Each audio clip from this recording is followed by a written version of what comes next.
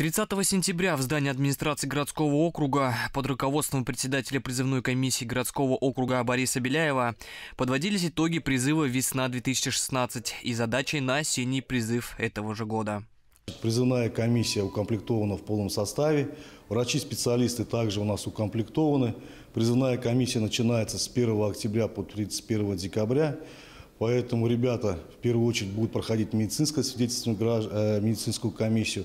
Задача призывной комиссии, возлагаемая на них, это в первую очередь законность вынесенных решений о призыве и законность вынесенных решений о предоставлении отсрочки от военной службы по учебе либо по состоянию здоровья.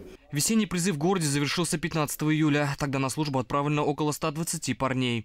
Этой осенью, по плану военкомата, призывников должно стать больше. В ряды вооруженных сил за республику планируется призвать порядка 6090 человек. С города Кумертау планируется из Куйгазинского района отправить порядка 140 человек. По-прежнему в осенний призыв на основании здоровья призывников ребята, которые имеют военно-учетные специальности категории Б, С, Е и Д, имеют право выбора, в каких вооруженных силах они хотели бы проходить военную службу. Это, конечно, учитывается, это большая помощь как бы то, что им поможет в дальнейшем служить, потому что они имеют определенную военно-учетную специальность. Но это у них опыт будет. В период прохождения службы это год стажа, водительского стажа, который после армии позволит устроиться на работу, так как гражданин имел определенный опыт вождения. С 1 октября было решено допускать родителей на заседание призывной комиссии, где ребятам будут выноситься определенные решения.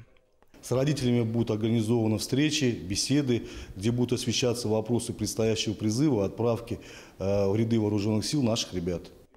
Константин Меркушев, Владимир Кузьмин, телекомпания «Арис».